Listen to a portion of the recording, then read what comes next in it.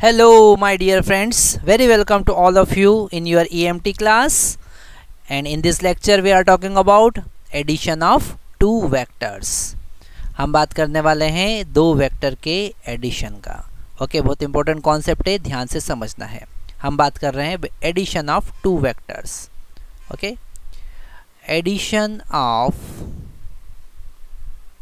addition of two vectors okay तो हमारे पास में दो कॉन्सेप्ट है। पहला कॉन्सेप्ट है triangular law okay triangular law of vector addition और सेकंड कॉन्सेप्ट कॉन्सेप्ट है हमारे पास parallelogram parallelogram law of vector addition okay तो सबसे पहले हम बात करेंगे triangular law of vector addition थोड़ा सा वेक्टर का कॉन्सेप्ट बेसिक कॉन्सेप्ट है, जिसे हम जल्दी जल्दी ख़त्म करने वाले हैं।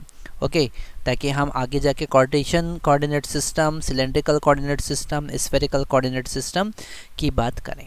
ओके फिर हमें अलग अलग टाइप की थ्योरम डिफरेंशियल वेक्टर डिफरेंशिएशन देखना है। Okay differential calculus for vector देखना है, हमको इंटीग्रल कैलकुलस देखना है। हमको स्टोक्स थ्योरम देखना है। हमको गॉस डाइवर्जन थ्योरम भी देखना है। ओके? तो हम बात कर रहे हैं first triangular law of vector addition. Okay? Triangular law. अगर हमने दो वेक्टर को, दो वेक्टर को, जैसे एक वेक्टर ए है और दूसरा वेक्टर बी है। ओके? इन दोनों वेक्टर को एक ट्राइंगल की दो कंजिक्यूटिव साइड की हेल्प से अगर रिप्रेजेंट किया है तो तो थर्ड साइड उनके एडिशन को बताती है। Okay this third side C okay third side R vector this R vector is equal to A vector plus B vector okay this is the triangular law of vector addition so if we represent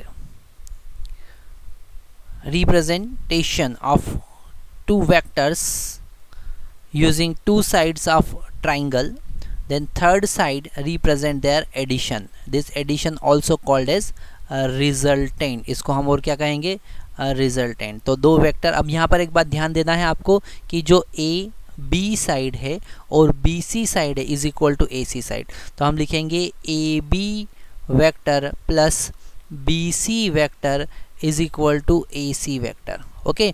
यहाँ पर आप ऐसा नहीं लिख सकते हैं कि A B vector plus C B vector ये डायरेक्शन चेंज नहीं कर सकते ओके? okay, एक वेक्टर जहाँ फिनिश होता है वहाँ से दूसरा वेक्टर स्टार्ट होना चाहिए तभी हम triangular law of vector addition लगा सकते हैं ओके? okay, सेकंड है हमारे पास में parallelogram law of vector addition second है parallelogram law of vector addition तो यहाँ पर अगर हमने दो वेक्टर जैसे हमारे पास वेक्टर ए है और वेक्टर बी है, if you are representing two vector using two non-parallel sides of a parallelogram, okay?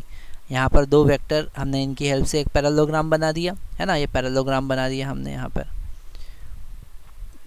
Okay तो इस पैरलोग्राम का जो डायगोनल होगा, जो डायगोनल होगा वो होगा इनका रिजल्टेंट वेक्टर ओके okay, वो क्या होगा?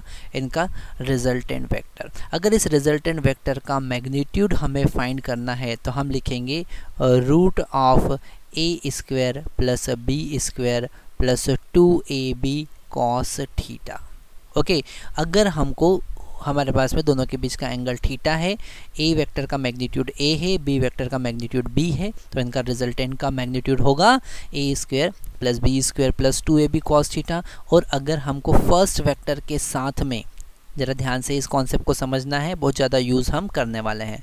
तो अगर हमको फ़र्स्ट वेक्टर के साथ में एंगल निकालना है अल्फ़ा तो टेन अल्फ़ा होगा B sine theta divided by A plus B cos theta और अगर हमको सेकेंड वेक्टर के साथ में एंगल निकालना है, ये एंगल निकालना है बीटा तो टेन बीटा होगा ए यहाँ पर ए और बी को इंटरचेंज कर देंगे तो A sine theta divided by B plus A cos theta okay तो ये दो कॉन्सेप्ट हमको याद रखना है।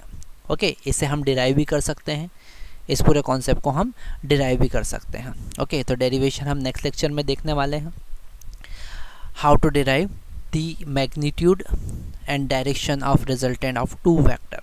Okay magnitude and direction of resultant of two vector यहाँ पर हम पैरालोग्राम लॉ का यूज़ करते हैं ट्रेंगुलर लॉ का यूज़ करते हैं एडिशन ऑफ़ टू वेक्टर में. Okay okay?